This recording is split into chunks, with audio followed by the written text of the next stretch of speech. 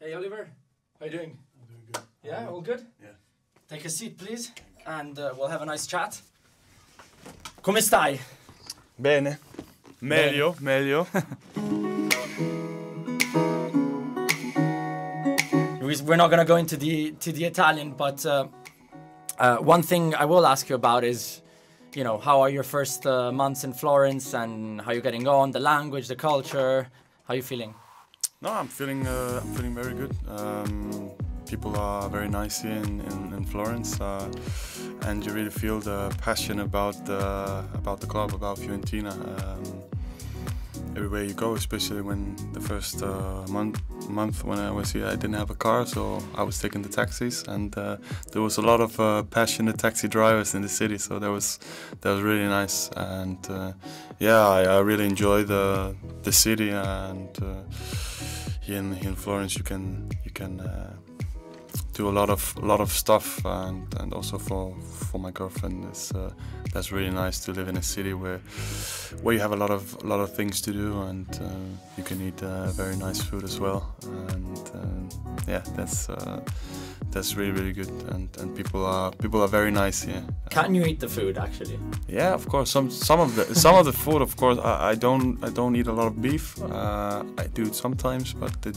it is not the the food I, I, I eat the most. But I have I have already tried the the Florentine uh, steak. You have, you Uh, have, yeah, yeah. yeah I have, I have I've tried it one time um, and it was really really delicious and um, yeah the the the food is uh, the food is really really nice Okay, let's start from um, from you as a, as a child. No, your first uh, steps into football. Um, talk us through that as well. Like what's what it's like. Of course, you know at the start it's just you know pure passion.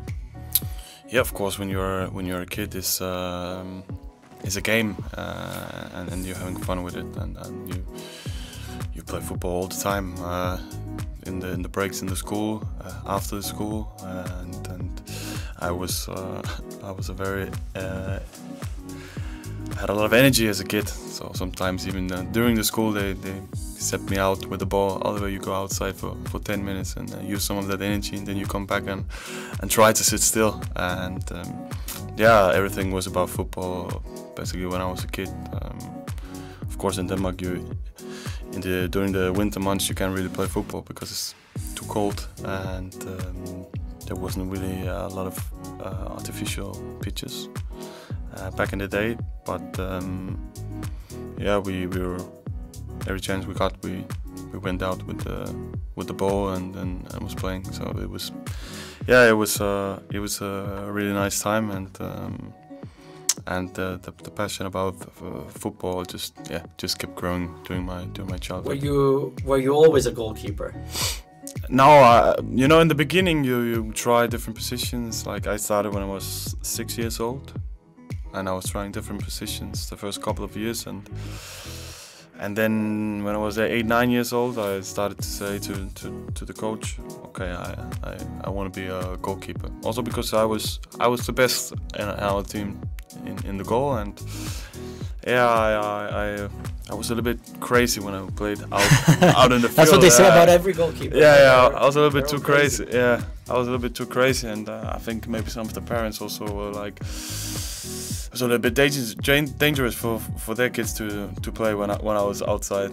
Uh, what do you mean? Like, what would you do? no, no, I was just, uh, uh, yeah, I don't know, I, I didn't really, uh, yeah, I, I was just tackling hard, and uh, yeah, I was was was getting easily angry and made a lot of free kicks. so it was better. It was better for, for me and also for the other kids that, that I was in the goal. Yeah. Did you bring some of that um, mentality, you know, to your professional life as well, or did you calm down a little bit? No, I calmed down a little bit because it was um, during my early teenage years. It was getting a little bit uh, out of hand, and uh, I was getting uh, really frustrated uh, actually, and, and it was like destroying. Uh, it could destroy some trains for me, and also some games that, that I couldn't focus on on the game if something happened that something didn't go the, the way that I wanted. I, I was yeah, I was, I was getting in my in my feelings and uh, and yeah, but I, I had a early on, I had a mental coach, and, and we, we really worked on that. And, and now is uh, now you won't you won't you, you, you will you will see it sometimes that I'm getting frustrated, but but but not the not the way I did when I was a kid. So you sort of had some anger issues, and Yeah, then yeah, you were able to channel it, Yeah, you know, in the right direction. Yeah, exactly. Wow. So, I mean, what kind of thing would you do on the pitch? Oh, uh, I would arguing with the referee. Sometimes I argue with uh, my coach. Uh, sometimes, uh, sometimes I try to kill the post. Uh, and also, I, I injured myself a couple of times uh, because I was kicking the post so hard. And I broke a couple of toes one time because I kicked the post so hard. Like proper boom. Yeah, boom. yeah. And uh, yeah, I was I was so embarrassed about it that I just after two weeks uh, uh, I said, okay, I, I have to go. And you were about, you know, how old? Maybe yeah, I was 14, 15 years old. And you started working with a mental coach at, at that age Yeah, already? at that age. Yeah, I think it was after uh, after the incidents, more or less. Uh, I started to, to to Where work where were you playing at the time? I was playing in uh, Odense. Odense. Yeah, I was playing in Odense. And did the club help you with, you know, having a mental coach? That was it my parents. your parents. Yeah, that was my parents because it was. Yeah, it was like I said, it was getting a little bit out of hand, and and and, and it was. Uh, I had a hard time uh, concentrating when when some of these things happen. If I made a mistake and it led to a goal, or or if I felt like the ref were, were whistling against us, and, and, and that's uh, yeah, that's important as a, as a football player that you can you can cope with those things and, and, and still focus about the game because yeah I never seen a ref uh, uh, whistle a penalty and, and then take it back. Not back then. Yeah, yeah. now now they can do it because of the VAR of course but but back then it, it didn't help anything and it didn't benefit me uh, at all. And, and, and yeah so it was it was a quite important thing for me to to like get control of and, and use it the right way to to uh, to play 90 minutes uh, perfect So the mental coach helped you. So at the time, did you think that was like a, a massive setback in your trying to become a professional, or were you not really thinking about a career in football?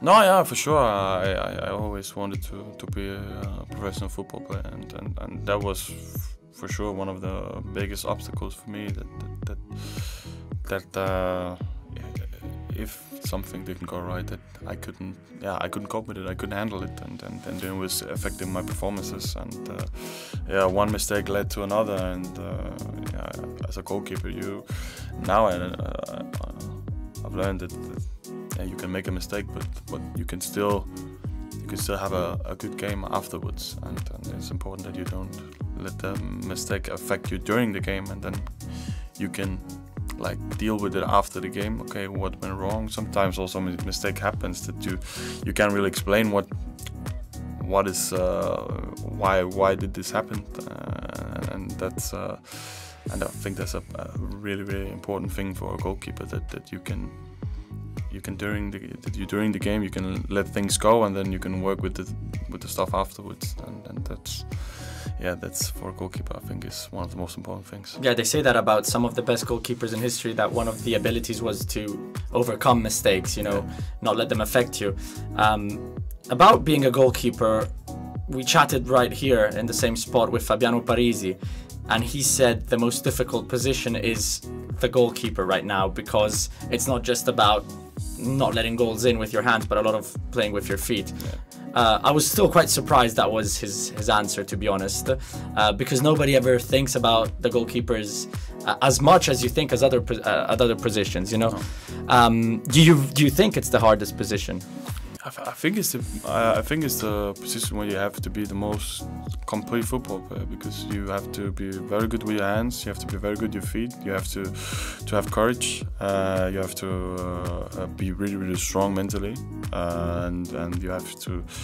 I think it, you really have to be the most complete football player you, because you also have to you have to be able to play with both feet. You you have to do uh, a lot of things, and you see now that the best goalkeepers in the world, and there's nothing that they can do. Uh, like uh, Alisson, Ederson, Neuer. Uh, Who's your favorite? Uh, oof, uh, I, I don't really have a favorite, but I have a lot of goalkeepers that I really like. Uh, I really enjoy to watch them play. Like the two Brazilians, Ederson and Alisson, uh, is really it's really amazing to to watch. Um, I, I, also really like uh, I really like Donnarumma. I think he's he's my age, you know. Yeah, he's from '99, and he played I don't know 300 350 professional football games. I think that's that's unbelievable, and, and that's like his mentality from a very young age has been extraordinary, and, and, and I think that's uh, yeah that that's something that I really uh, I admire that by him that he was able because when I was 17 I, I would not have be able to do what he did, even though I came out young as well in Denmark. Um, but but to do that 16, 17, that's that's really special, and also in a in a club like uh, AC Milan, it's not like uh, there's no expectations. Yeah, no, that's that's insane. Well, I mean, your career is still very early days as well. Odense, then Hertha Berlin, now Fiorentina. Um, what was it like going abroad so young? Because I mean, you're still very young, and Germany isn't Denmark, of course. No, no, of course it was difficult uh, because I moved out from my parents' house when I was 19 and uh, I but I was still 20 minutes away from them, so I could see them, yeah, whenever I wanted, basically. And moving to to Berlin is, is different because you just you don't drive to your parents and eat uh, and eat dinner and then you go back, and it's it was difficult, obviously, and because I'm very close to my family, I, I, I spend a lot of time with them when I'm when I'm back home, and and uh, think that's the that's the most difficult thing about it, uh, really, to to to play uh, abroad. And that's you you miss your your family and your friends and and uh, and the city that I'm from that I that I really love to be in. And, uh, yeah, that's basically uh, that's the only thing that I can that, that I can think of that is that is like a downside with uh, with football. And um, but they are really good to, to come and visit me. And uh, now it's a little bit longer for them yeah. to, to go to, to Italy because Berlin was uh, six hours by car from my hometown. And now they have, uh, oh, by car they have like 18 hours. Yeah, it's a with the plane. It's a proper trip. Yeah. With the plane is okay. There's also a lot of airports close to, to Florence. Obviously, there's Florence, but uh, I think it's not every day there's a direct yeah, flight. No, Pisa, uh, but Bologna. there's Pisa, Bologna. You can also go to Rome or Milano and then go by the. So you're already an expert. You know your way around. Yeah, yeah, I know my way, around, and also when I have to look look for tickets for my family, uh, uh, I I have to I have to know all the possibilities for for them to come here. Regarding Denmark, obviously you have one cap for for the senior team, but under 21 you even played at the euros. Yeah. Um, tell us a bit about that experience you know representing your country uh, if it's something you know you absolutely want to do. Yeah of course uh, i think there's no greater pleasure than, than, than representing your country and uh, and it's, it's regardless of his uh, under 16 17 18 you, you, have a special feeling when you're when you're representing your country. And, and, and, that's obviously also one of my one of my goals in the in the future to to get back into the national team and and, and uh, representing my country. And um, yeah I had, I had some very nice experience uh, so far with the with the national team. I was uh, the World Cup in Qatar with the with the national team. Uh, we had a great run with under 21. We we, we played this uh, in my span. I think we played 16 or 17 games and we didn't lose. Uh, and we played strong strong nations as well, like Germany, France. Romania was had a very very good team at the point also, and, and yeah, we we really had a, a great team and, and there was um, some very nice experiences and um, yeah it's it's just it's just nice to, to to be able to represent your country. Yeah denmark and i mean recently have done really really well and i mean a lot has happened uh, not just about the football of course but um, it's one of those uh, those national teams that you can always you can sense there's a progress and you know, maybe next time it's going to be their tournament, and it's quite exciting. I think one of those hipster international sides that a lot of uh, neutral fans support as well. Yeah, for sure. Uh, I think Denmark. They we are a small country, like Croatia, for example. Yeah. Also have done really well over the last years, and uh, I think now you see that a lot of Danish players is um, is getting to to to play in the in the big leagues. And, and Who's your favorite Danish player? My favorite Danish player. Um, I don't know. Uh, I have uh, some very good friends as well uh, that I like to, to watch play. Uh, and uh, my favorite Danish player.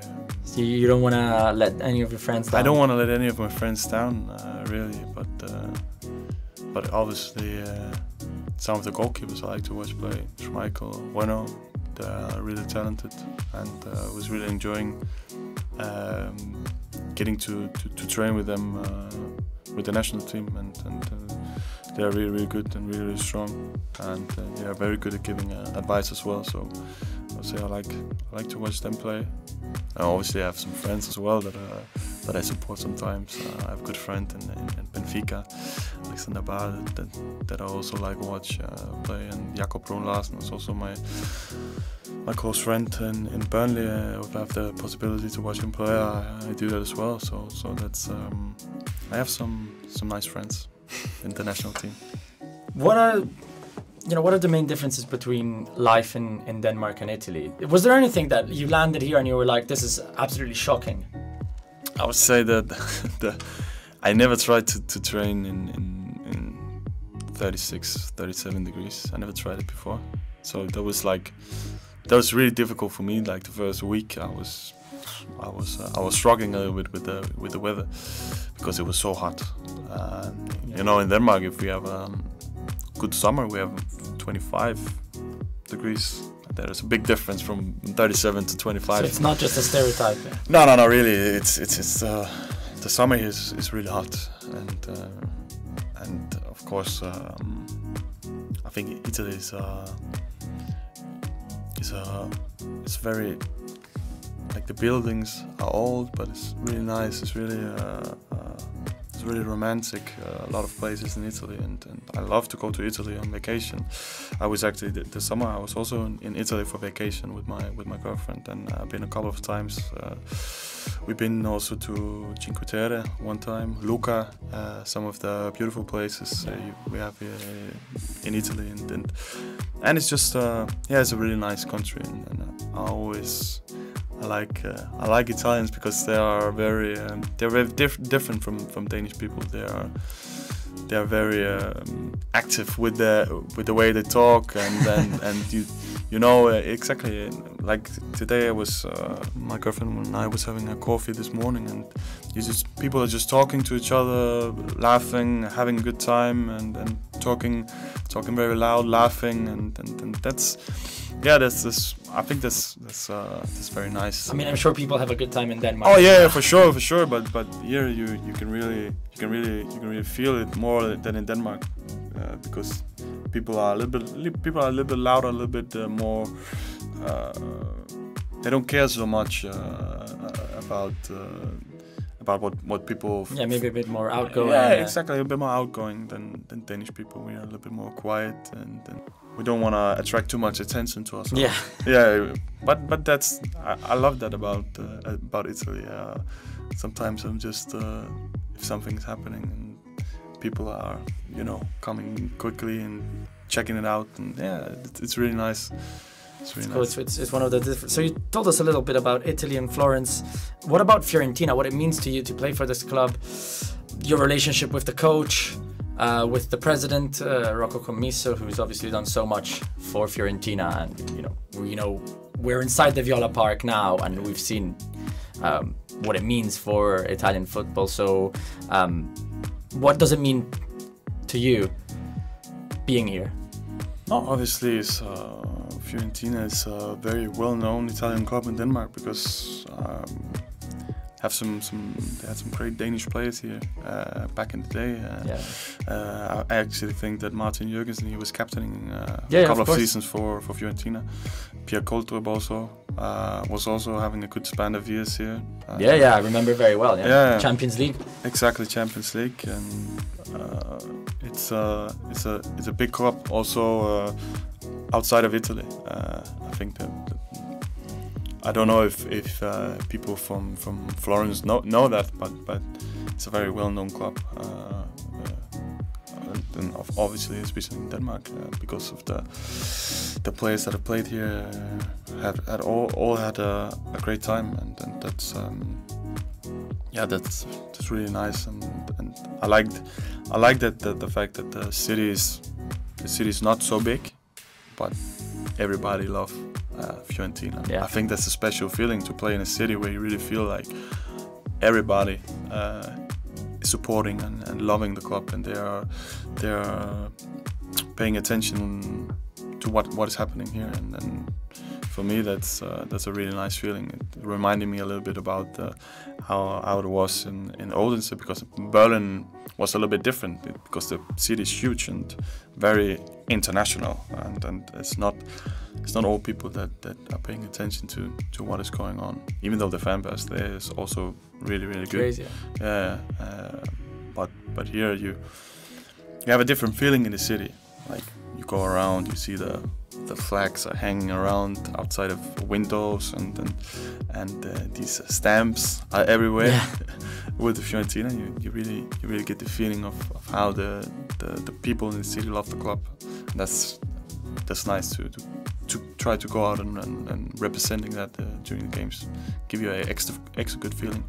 And what about the um, the Viola Park and, and being here? No, of course here uh, we have uh, amazing staff, uh, the head coach, Mister, and uh, and also the the, the goalkeeper coach, uh, the physical coaches. Do you speak? uh, do, do, they speak in Italian or English or Uh, they- Danish?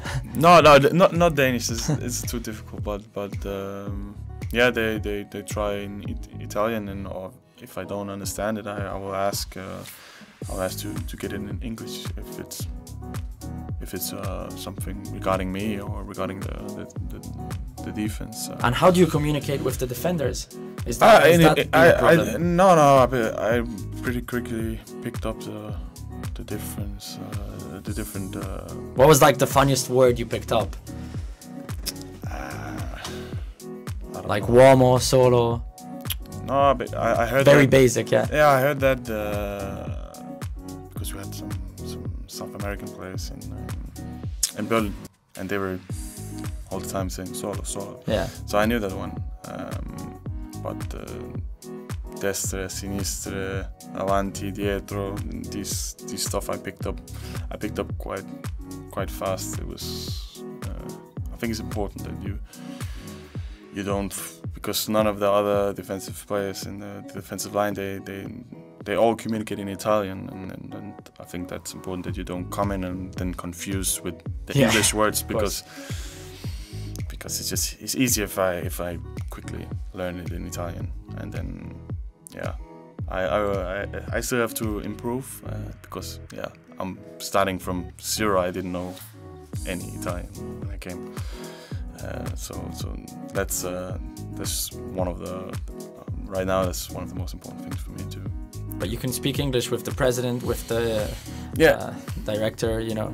yeah that's that's that's that's really nice that that I, that uh, we, we can speak English. I also think they, they they also think it's a little bit nice that, that Yeah, it's, we, we it's can cool. we can speak in English. Uh, no, but but yeah, they obviously they done a lot of things for for this club and yeah, with the I think everybody saw with the grand opening. Uh, this this training facility is is yeah, it's world class. It's, it's, it's one of the best. It's the best I ever seen, and and, and I think uh, also with the it's also very Italian, like the, the style, the, the view over the Tuscany hills. Yeah. Uh, I think it's very uh, it's very complete and, and it's, it's, it's uh, beautiful. And obviously you have you have everything here. Yeah, what, what you need for for a football player. It's, yeah, it's, it's really nice. Before I let you go, a few things about about yourself, like why the number 53, for example. And the 53 is the postal code for, for my city. Uh, yeah, so uh, I think um, that was a nice uh, little tribute for for my friends and family. Uh, What's the name? How do you pronounce the name of your your hometown? Kerteminde. Okay. Yeah, Uh, so I think it was a nice trip before. I wrote it down, but I'm like, I'm not, I'm not gonna go there. No, no, no. It's it's quite it's quite difficult to to pronounce, but yeah, it was uh, just a fun thing that I I, I was thinking about doing. Um, yeah, and uh, they also think is they also think that it's uh, it's nice. So yeah, it's just a little thing. Every time I go on the pitch, I I, I think a little bit of, of, of them of back home, and yeah. Now That's really cool. It's one of the most interesting uh, reasonings but behind numbers, actually, Yeah. um, that I've heard. And what do you do in your free time? You know, do you have any films, uh, TV series, books you read, uh, hobbies?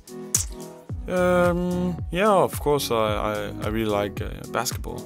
Yeah, uh, I watch uh, NBA. Uh, when I was in Berlin, I, I sometimes went to watch the EuroLeague. Uh, so I, I like to I like to watch basketball, and I'm, I'm following it as good as I can. It's NBA is difficult because it's three, four in the in the night. Yeah, yeah. so, so I'm, I'm obviously not uh, watching a, a lot of those games, um, but but uh, I also like to yeah go for some walks with my girlfriend.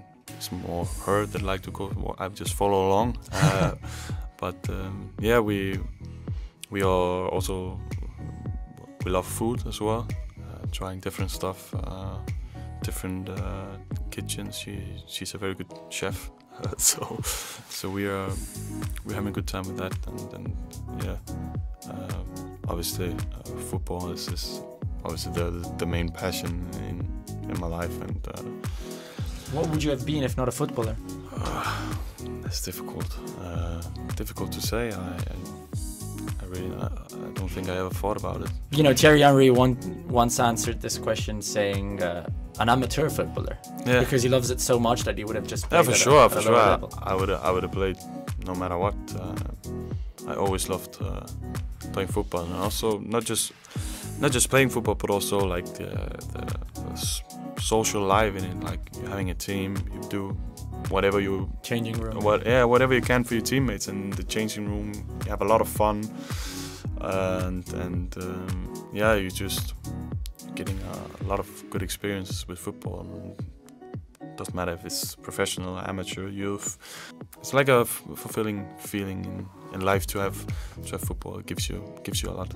I often ask this question. I'm curious how, at such a young age, how do you deal with, um, you know, the the salaries, the money that comes in, uh, because it's obviously a passion, but then it becomes a job. So, does that change your perception of, of things? I don't know. That, that, that's a tricky question. Uh, of course, you, it's a it's a job, but I think most of the guys they would do it anyway. They, they would play in their hometown or or whatever. And, and obviously, with the money also comes a lot of uh, pressure and uh, a lot of expectations, and and your uh, people can be uh, people can also be quite rude to you because you play football, and then yeah, that's there's a lot of a lot of things that, that, that come with being a professional football player. How do you deal with the social media? Is it something you know you pay a lot of attention to? No, not really. I, I, I don't really I don't really use a lot of time to it. I don't I don't post that much uh, either. Uh, I only post about football, not really so much about my private life, and I like to keep that to myself. Uh, so so yeah, that's uh, there's a lot of uh, a lot of different aspect to it, but but uh, obviously, I would say that it becomes more like a job when you move away from like from your family Okay. because I don't think, uh, if you have to be honest, I would not live in Florence if it wasn't for football, or I wouldn't have lived in Berlin if it wasn't for football. Yeah, makes sense. Yeah, so so that's uh, I think that's the uh, that's what make it more a job because you you are far away from the people that you that you love, uh, and of, of course I have my my girlfriend here, which is nice, but still my mom, dad, brother, friends, grandparents, they are still in Denmark, and, and if uh, if if if I could, then I would uh, I would uh, I would have played uh, or I would have have, have, have lived there uh, if if I didn't play football. But football is also my passion, so Yeah, yeah. You obviously follow it. You know, put in a lot of hard work. Yeah, yeah. Um, I guess both mentally and physically. yeah, exactly. You know, all round. Where do you see yourself in 20 years' time? In 20 years, I'm 43, so I'm probably retired. Who I- knows? I probably retired uh, maybe for two or three years. I want to play until I can't. I can't anymore. Um, so so I, I would say um, I'm probably uh, I'm probably back home in Denmark, living in my city. Uh, I would say. I, I think that that, uh, that my girlfriend have a dream that when we're done playing football, we go live in Japan for one or two years. All right. Yeah Why not? that's her dream and and uh, I think I dragged her some different places now and uh, when I'm done playing football she we can we can we can go live a place that, that she chooses and uh, not not just me Last question. What is your dream? oh I have a I have a lot of dreams um, obviously uh, you want to try to, to, to compete in the Champions League you want to win a couple of trophies during your career career as well and, and, and I think all of all of these dreams that I have are, are possible here and uh, and I think the club is in a is, is in a good is in a good place and, and and I think we are we are allowed to, to dream of course. You have to be always have to to be uh, realistic but but uh, I think there is there is a good chance over the next five years that I have contract here that that, that we can make some of those dreams uh, come true hopefully uh, we could continue uh, improving and, and growing as a as a club and a city that would uh, that would be yeah that would be amazing to to to, to do that to do that here Perfect way to to end this. Thank you so much, Oliver. thank you Thank you.